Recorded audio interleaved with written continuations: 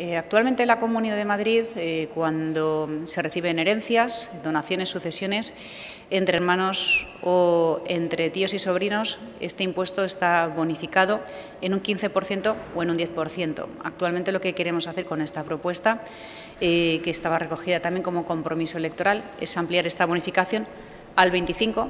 estábamos comprometidos en el 20, pero lo vamos a llevar al 25% para ayudar aún más a las familias. Y esto es algo que se tiene que hacer efectivo una vez que esté aprobado por la Asamblea de Madrid. Luego, cuando empiece el nuevo periodo de sesiones, será el primer punto que registremos para, para tenerlo pronto, para que vea pronto la luz y que en ese mismo momento ya empiece a beneficiar de manera directa a cualquier persona que tenga que, que realizar un trámite administrativo de estas características.